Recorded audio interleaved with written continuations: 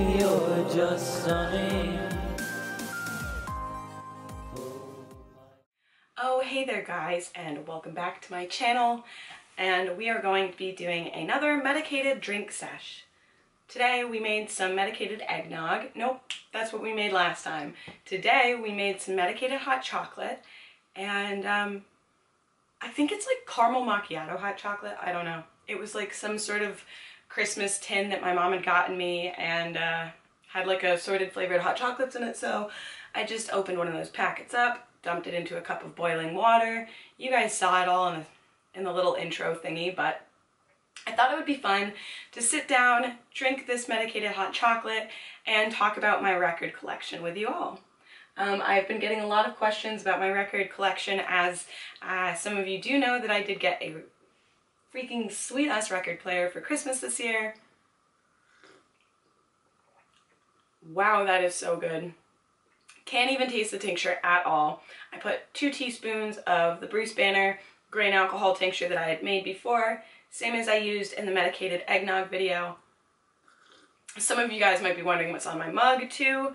This is a yoga mug. It's just got all the chakras on it. It's got sun salutations along the bottom. And then the middle of it's just kind of filled with all sorts of different yoga poses.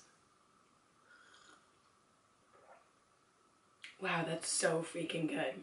Okay, so let's get started on some of my favorite records, I guess, is the best way that we can do this. And maybe a little bit of history about me and my record collection and that sort of stuff. So, okay, pull this second crate over.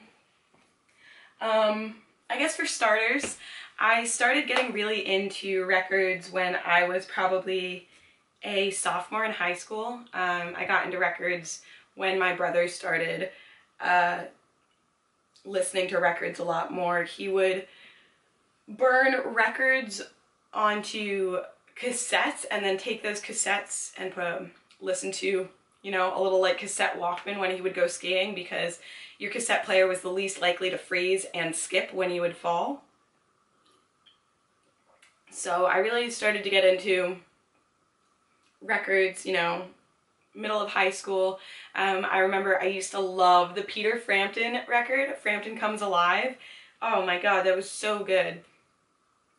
I yeah, I could I probably listened to that multiple times a day during the one summer I can remember. But I just remember like loving the just kind of almost like for me records I don't even know how to explain this like for me records are almost like Pokemon cards or I don't know they're just collectible you know having that one album that you have on vinyl, it sounds so different than any CD or cassette tape or MP3 file. There's just something so serene about a record. You guys probably think I'm ridiculous, but damn that hot chocolate is good. Um, I don't even know where to begin. Just as I'm flipping through, I will tell you some of the things that I'm finding. Um, I have all of my Grateful Dead records. Willie Nelson, The Doors, uh, Pearl Jam, more Grateful Dead, Creedence Clearwater Revival, The Band, The Band, The Allman Brothers, a copy of Beatles Abbey Road, um, and a lot of these records have been gifted to me or passed down to me from family members or, you know, family friends and that sort of things. Things I found at tag sales or thrift stores, um, stuff like that.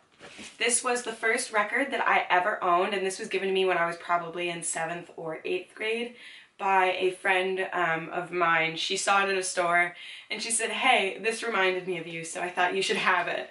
And I was thought that that was just so ridiculous, and well, uh, seems to be the theme of things these days.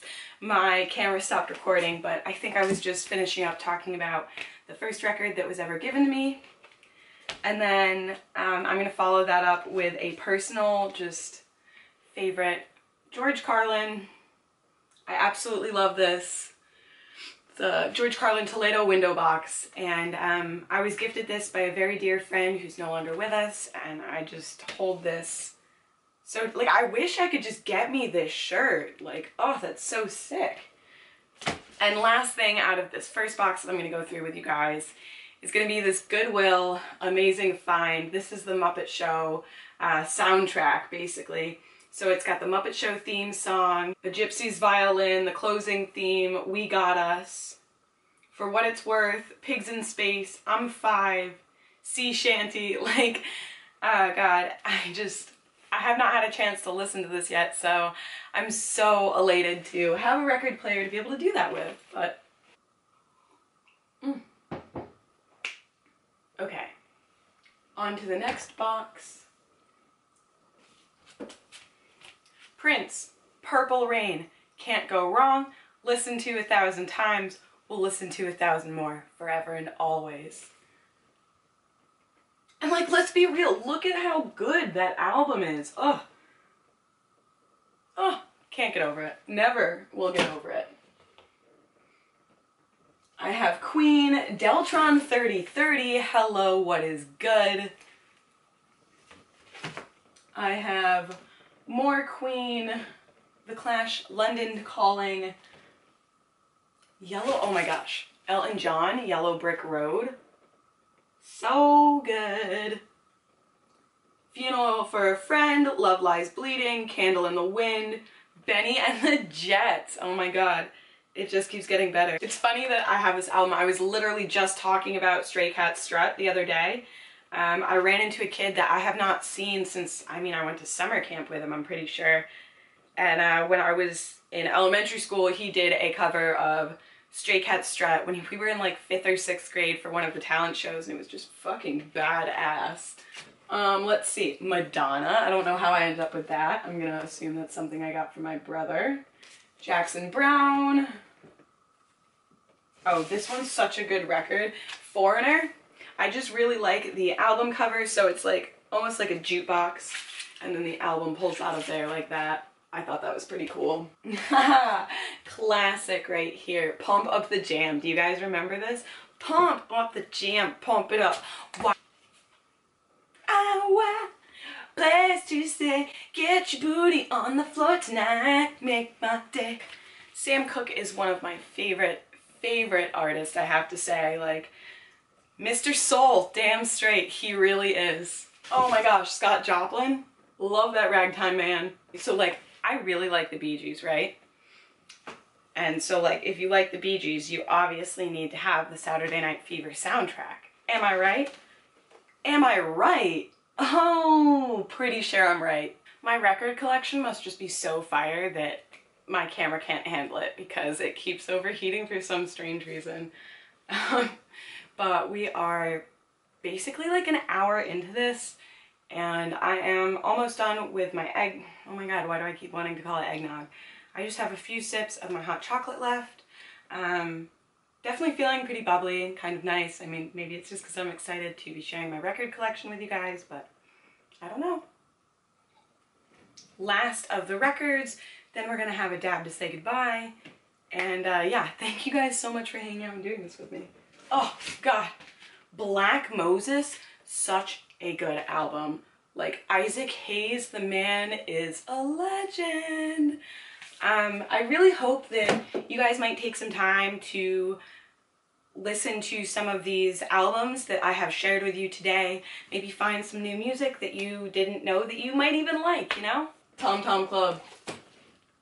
Pitbull. The single of I Chico, come on. But yeah, Tom Tom Club. What you gonna do when you get out of jail? Yeah, basically.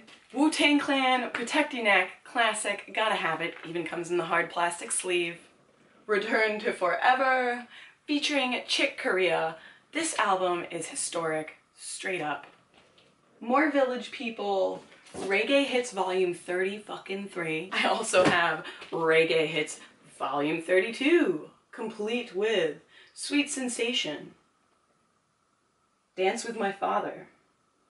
Chat dem a chat. And use your fist.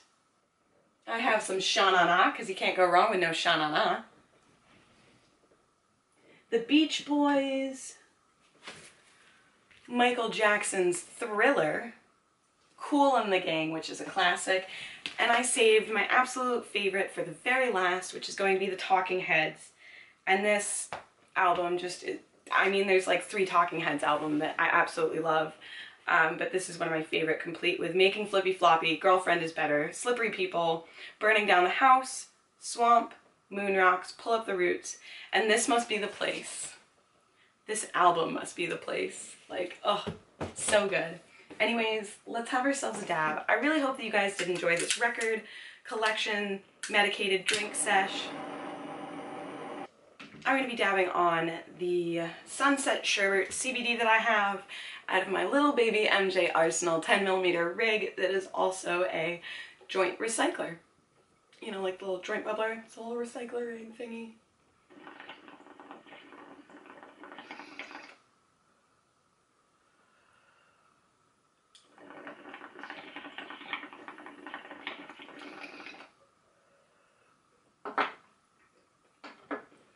Bye guys, and thanks for enjoying my record collection with me.